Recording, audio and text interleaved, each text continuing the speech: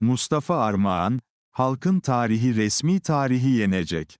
Hakikat şu ki, tarihimizi ya bilmiyoruz veya yanlış biliyoruz. Onun için sık sık gündeme getirdiğim, neden biz, kör edildik? Sorusunu burada bir kere daha sormak istiyorum. Bir Arjantinli 100 yıl önceki gazetesini okuyabiliyor. Aynı şekilde bir Çinli, bir Japon, bir Rus, bir İranlı, bir Yunan, hatta bir Suriyeli de okuyabiliyor. Atalarının kullandığı alfabeyle yazılan metinleri okuyabildikleri gibi kullanılan kelimeleri yani dili de bizimki gibi uydurmacılığa kaptırmadıklarından okuduğunu da anlayabiliyor üstelik. Peki sen neden okuyamıyorsun? Bu sarsıcı soru üzerinde düşünelim. Neden özellikle sen kör edildin? Çünkü birileri senden çok fena korkuyordu. Bu milletin mayasında kontrol edemeyecekleri müthiş bir imparatorluk potansiyeli olduğunu defalarca gördüler.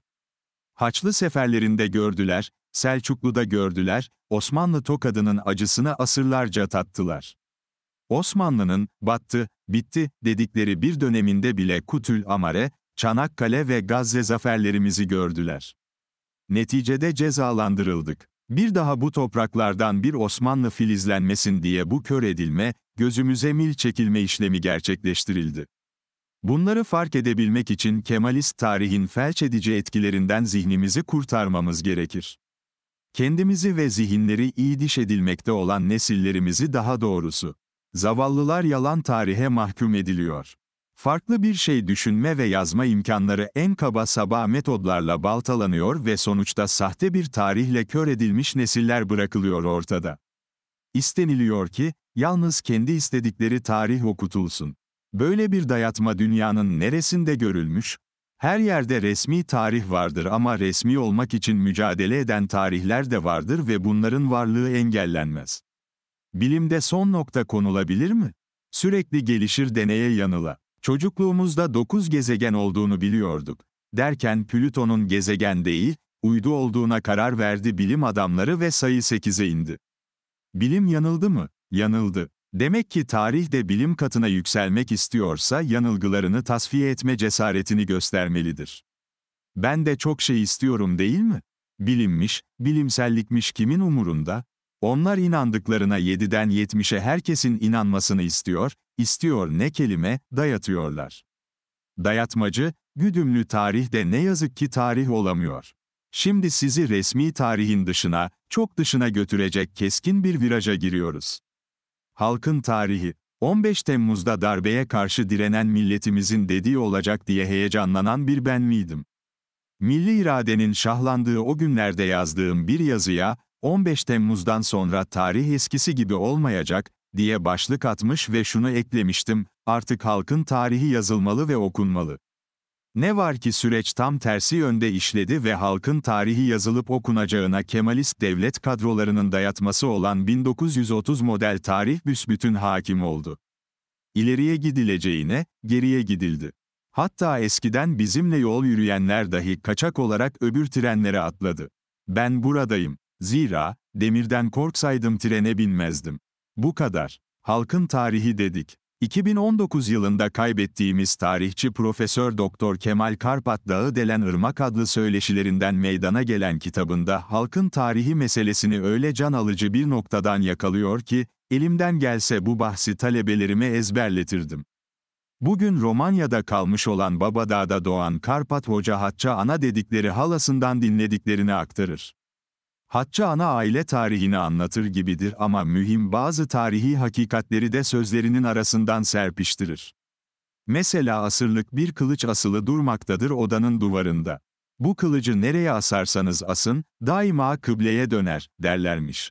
Bunun manasını şöyle açıklar hoca, onlar kıbleye döner derken, biz bir şeyi savunuyorduk, bu kılıç bir şeyi savunuyordu, manası çıkıyordu ve bize de bu felsefe işlenmişti.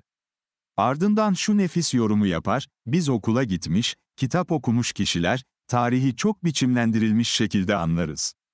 Veya amaçlı olarak bize sunulan tarihi okuruz ve amaca göre anlarız. Ama halk, tarihi yaşandığı gibi anlar ve anlatır. Bunlar da tarih olur. Peki kaç türlü tarih vardır? Yine Kemal Karpat'a kulak verelim, biz Türklerin üç çeşit tarihi vardır. Bir resmi tarih, iki Avrupalıların yazdığı tarih ki bu ikisi de şüphelidir. Bir de halkın zihninde kalmış tarih vardır.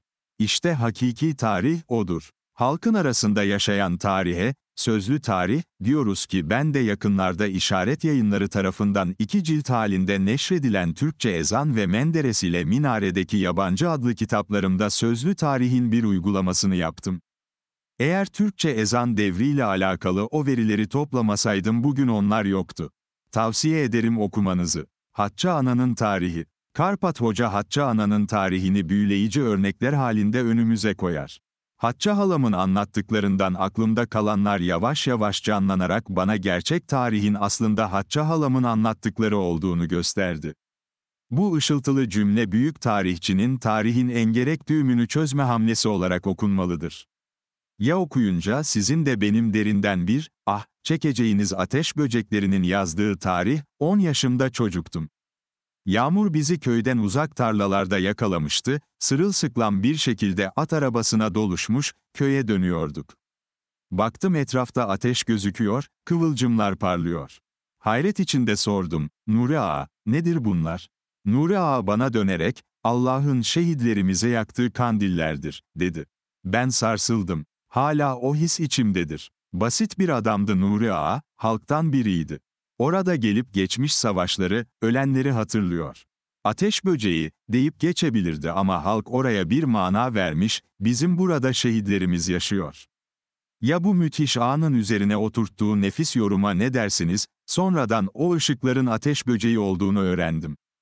Fakat bu, ateş böceklerinin, Allah'ın kandili, olduğu imajı benim kafamdan silinmedi, gerçeği bildiğim halde.